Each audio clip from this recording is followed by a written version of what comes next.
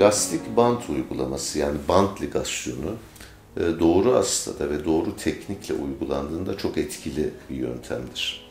Ve evre 2 ve evre 3 iç hemoroidlerde seçilmesi gereken tedavi yöntemidir.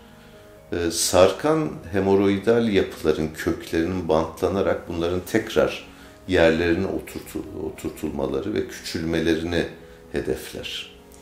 E, doğru teknikle ve doğru hedefleme yapıldığında hastanın hemen normal hayatına döndüğü ağrısız bir işlemdir.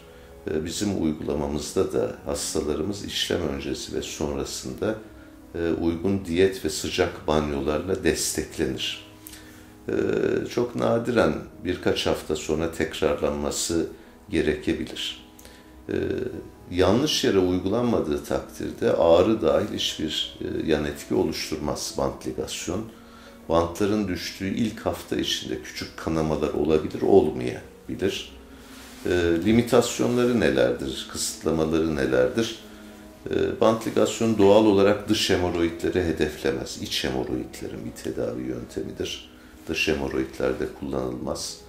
E, kumadin, aspirin, plavix gibi kan sulandırıcı kullanan hastalarda ve bağışıklık sistemi baskılanmış yani lökosit sayısı düşük hastalarda örneğin kemoterapi alanlarda e, kullanılmaması ya da özel bazı hazırlıklarla dikkatli e, kullanılması gerekir. Müzik